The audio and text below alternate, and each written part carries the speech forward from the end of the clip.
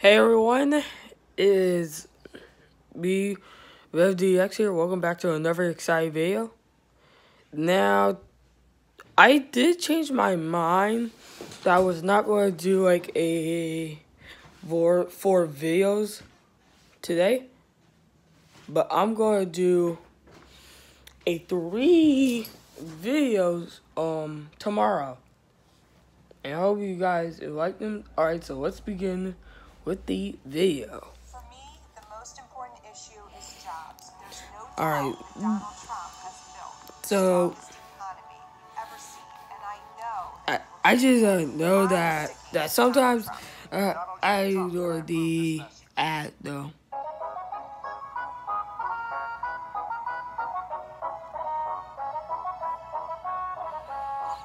And also, this is uh, Papa Gino's intro.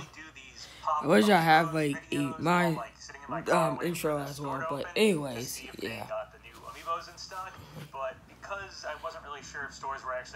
Also, This video is going to talk about the final four DLC challengers that I want that that I wanted to predict. Now, count me out. Now, I think this is like that that, that I'm just I'm not gonna like you know be mean to this video. I'm just going to be like doing fun speculation for stuff like that. But anyways, pre-ordered them, so these came in the mail to me. So sorry, unlike the usual Pop Amiibos videos, I'm not just gonna get wildly off topic and talk about whatever and tell stories and stuff. I actually have a lot to say about Amiibos right now, so I'm gonna talk. So about shout out to Papa I also Gino's. feel like right He did a good job on the predicting characters, because it's the the- final while I've had a four- decent guess at that sort of thing. So I thought it'd be fun Whatever you call If you're hoping to talk fighters or something other than characters, because I call DLC and tell stories and characters. But Um, he- yeah, he did a good job to, question and answers thing um, anniversary of to the Discord. did the So final weeks here, prediction on the final four that'll probably have me getting very off DLC characters. Look forward to that, I guess. Yeah. Anyway, I did get the Joker and Hero amiibos. Um, here's here's Joker. Yes, And like I said, Hero. I Um, might going I get definitely like it until. Uh, I really like the, like, this month flame thing that or somewhere around near my Um, birthday. and Hero, it Because- like because of a I think I pre-ordered it. could have had all those So, yeah, that's kinda but my I guess. Expensive and everything like that. So unfortunately, Hero is just the Dragon Quest XI protagonist, which isn't my favorite alt for Hero anyway. So yeah, I definitely like the Joker one better out of this uh, this bunch. Uh, yeah, and spoilers, you know.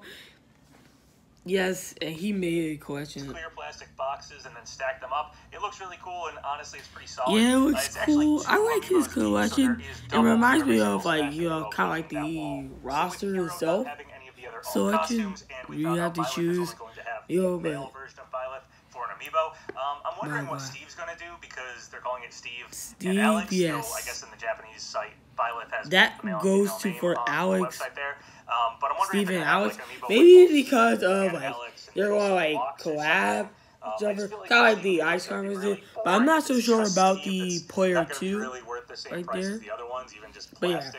I, I like think the not gonna be player one's there. available, so I'm hoping It's though. like No. with blocks and maybe Alex as well on there. Or they could do something like Game and Watch, maybe have them like swap out There's a Pikachu Euro yeah. Steve, Alex, They could do something like that with his like you know swap in item and out of or the, the base it comes with or something like that, much like Game & Watch has. I think that'd be a cool way to do it. Yeah. Out of the rest of those first Fighter Pass amiibos that we've seen, my favorite is Banjo. I really like that they incorporated the Jiggy into the base. I think that's really cool.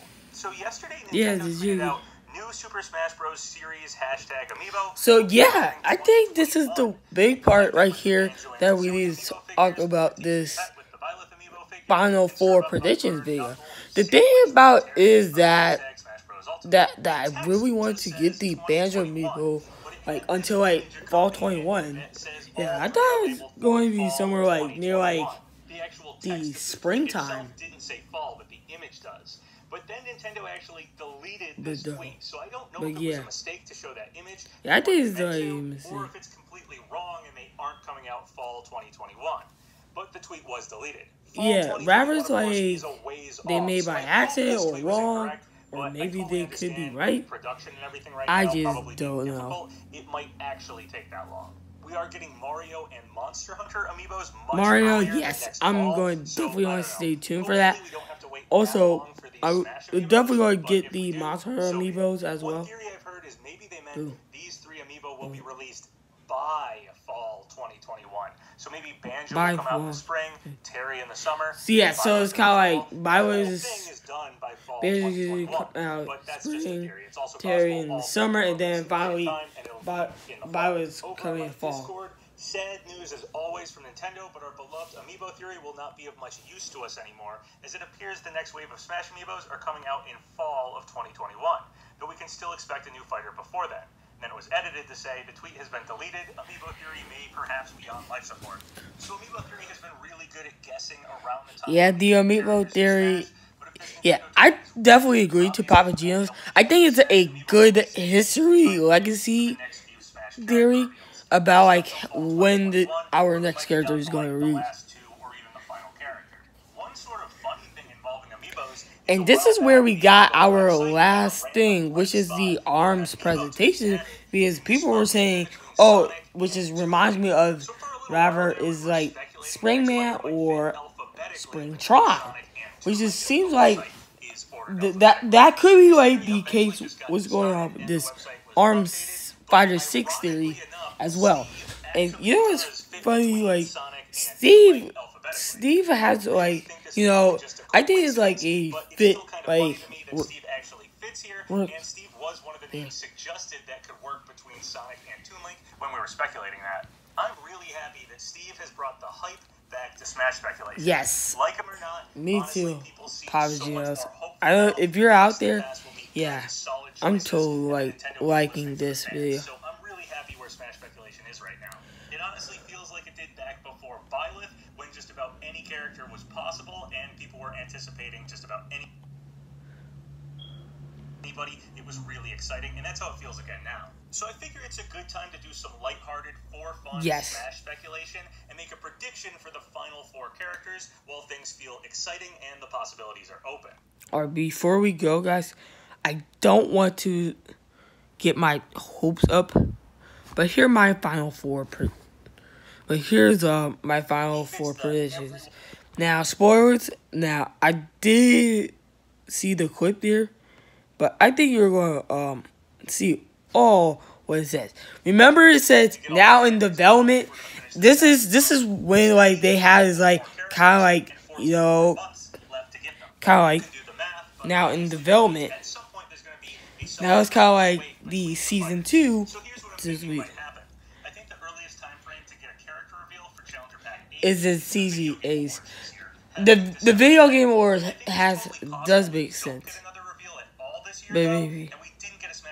It's po- po- So it's completely possible nothing happens at the Game Awards Smash wise, but I still think it's the earliest date I could see a Smash character actually being shown off. If the Game Awards does have a reveal, I think it would just be a reveal. I i- yes, it's it's going to be familiar like Like Joker, with Joker, we would have to wait a teaser. for the fighter to actually be like teaser, Somewhere like and then I believe that he came out in like February seventeenth, which that means is like five days. So so it's like March, which just means it's like a fourth month ago since like we got the Joker reveal, or I should say it five per month before we got the Joker reveal. of like between Joker and Mimic, they have the, like, arms over segment. reveals for characters in the past. It's a good way to make the wait between Smash news I did want to say that the only quick best and audiences to bet- If there is E- another major Western character E3. in this pass, I suspect next And, and I they show off. believe that It was like Steve was originated to be the E3 Steve cancel is the character that appeals to announcement, which is Twitter got broke the internet. So this is might be like the prediction like, here. August or September. Here's why I is gonna happen for DLC eight. I think it's going to come out until like because we only have four more, and again, we're trying to probably like February 21. I'm not so sure about January 21, but maybe it's a possibility or March. So the final character that I'm thinking right now expect to be See? Most likely Smash Ultimate's anniversary. Smash Bros. Ultimate Anniversary. especially when we That's what brought I'm thinking right now. Whatever other the. Smash Bros. Ultimate Anniversary, maybe it's the part that like this is the time frame that we could get a E3 announcement. But I think that's my personal. All right, guys. Here's my final prediction of it. So for spoilers, yes, he put on Ryu Hayabusa, Crash, Dante, Geno. Now, for all people that you don't know, I'm going definitely going to make it to my order. order. Alright, so I'm thinking that the final four characters that it might be, which means, yeah, I'm for sure that DLC nine might be in E3, and then the DLC ten might be in the September place. But yeah, we'll wait and see though. I mean, who knows? It could happen. All right. So for DLC seven, y- yes. DLC eleven, yes, is going to be in the Smash Anniversary. So let me say this quick. So all right. DLC eight, Geno. DLC nine. Probably I'm leaning towards to a Zelda character or a Gen 8 rep. Then DLC 10, it could be Rayman because I'm rooting for Rayman to be like in Smash. Between two Klonoa, yes, it's a possibility that we're definitely going to get another Bandai Namco rep. If we don't get Klonoa in this game, then I would say that it would be Soul Calibur. And then the final character, yeah, I'm definitely thinking that one of them might be Ryu Hayabusa, Doom Guy, or Dante. I think that's my final thoughts to it, but I don't think Doom guys coming in Smash, but it's a possibility chance. Alright guys, thank you so much for watching on this video. I appreciate it, and I'll see you guys in the next time. Peace. Bye.